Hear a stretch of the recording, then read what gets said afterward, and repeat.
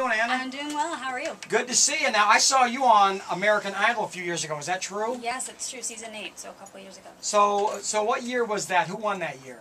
That was Kris Allen's year Kris Allen, Adam Lambert, and all that kind of stuff. So you auditioned where? in Salt Lake. Oh, it was when they had the auditions here, mm-hmm. and you got moved on to Hollywood. I did. And what was it like for you? It was crazy. It was nothing like it shows on TV, but it was a fun experience. How, how far did you get along with it? Um, I got uh, through a couple of rounds. Did you do where they end up doing the group singing and all that I kind of stuff? I didn't get to the group singing, What do you think of that? which it actually was probably a good thing that I didn't do the group thing, because there's just a lot of drama that happens with that. That seems to be very dramatic, and I don't think that's a good judge of maybe someone's talent, whether or not they can sing with four knuckleheads they don't like. Right. Right? Right. It's true. Okay, well, good. I just want to get that just on the table. Right. We, we're going to build on this from here.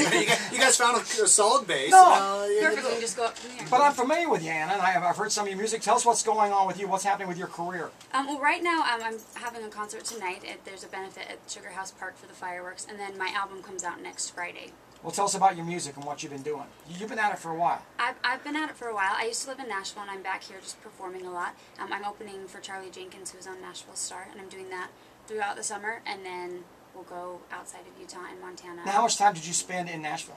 I was there for about a year. Did you like it? I loved it. It is such a great place. Now, were you performing a lot, or writing, or just schmoozing? What was happening while you were there? I was trying to do or a little bit of everything, but Yeah. I was mostly just writing and learning more about the music industry. Do you see yourself going back at any time to Nashville? Or? Right now, I'm commuting back and forth, so I'm there probably about a week out of every month, and so I'm here for three, and then I'm out there for one. And how do you feel like things are going for you? Things are going really well. Very cool. So tonight is a big concert. Tell us about the, your involvement in this concert.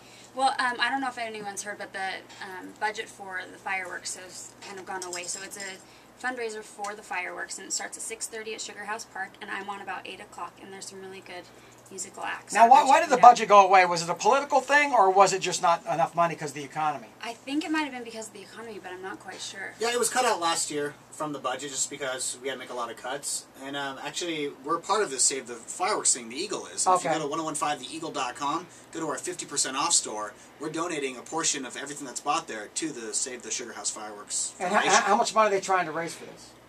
You know what? I don't remember now. I was in that. I mean, do you know? Seventy-five thousand. Seventy-five thousand. Seventy-five grand. So we need your help. Wow. So everyone should come to the concert tonight and have a good time. And the donate. concert's where? Is it Sugar House It's Park? at Sugar House Park. Where is it down there? Um, Do you know? Pond. at the pond. At the pond right there. Right. And, and who all is performing? Anna Kaelin, of course. Mhm, And then there's a group called the Stilettos. They're from Alpine. They're really good. And then some acts from out of Utah. Okay, and how long a set you going to do? I'm doing 30 minutes. Wow. Yeah.